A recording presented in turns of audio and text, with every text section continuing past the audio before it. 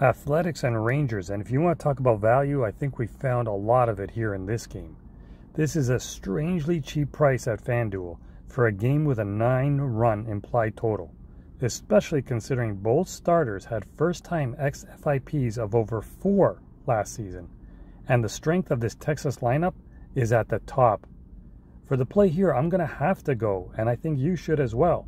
Athletics, Rangers, yes, run first inning. What say you though? Let me know. Comment section below. Thanks for watching and if you would like more breakdowns, picks and predictions, consider subscribing to the Trending Rabbit channel here on YouTube. We also have a Telegram channel, link will be in the description as well as in the comments. Trending Rabbit never charges for picks as we are all here to get that cash, not pay for picks. Thanks and may the winner be yours. This is the Trending Rabbit channel.